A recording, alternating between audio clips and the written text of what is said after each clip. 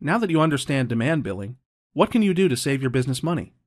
For commercial customers, understanding energy use patterns can lead to significant savings. One way to judge how efficiently your company uses electricity is load factor. Load factor measures the consistency of your demand for energy.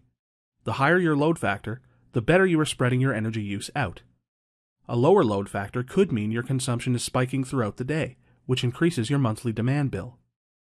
An ideal load factor can vary from business to business. If your company operates 24 hours a day, your load factor will naturally be higher than a 9 to 5 operation. Remember, a higher load factor means you're using energy more consistently and efficiently. So, how can load factor help you save money? In our next video, we'll discuss operational changes you can make to use energy more efficiently and reduce your demand bill. As you make changes, watch your load factor to see the results. If your load factor increases from bill to bill, you know the steps you're taking are effective and your company is using energy more efficiently.